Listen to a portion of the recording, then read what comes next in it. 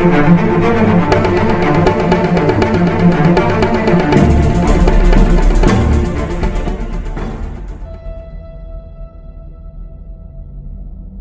was an idea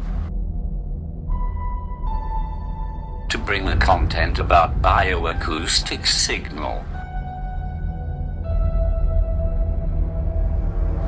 to see if we know or not about bioacoustic signal.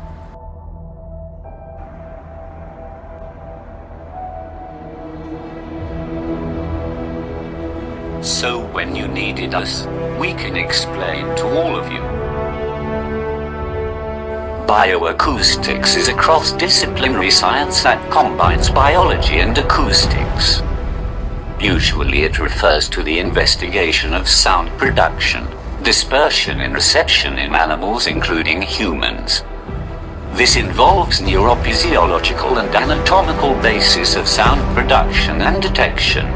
Due to the wide range of signal properties and media they propagate through, specialized equipment may be required instead of the usual microphone, such as a hydrophone for underwater sounds. Detectors of ultrasound very high frequency sounds, or infrasound very low frequency sounds, or a laser vibrometer substrate borne vibration signals.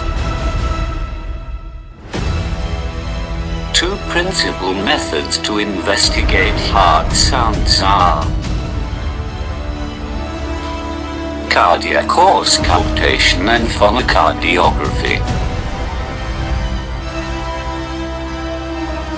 Cardiac auscultation is art of listening to sounds produced by the organs and vessels of the body, strongly dependent on listeners' experience and training.